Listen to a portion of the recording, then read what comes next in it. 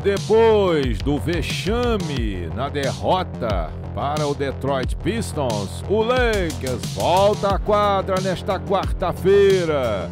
Com LeBron, Davis e companhia tentando sacudir a poeira e dar a volta por cima. E vão a Memphis enfrentar Jamoran e Jaren Jackson Jr.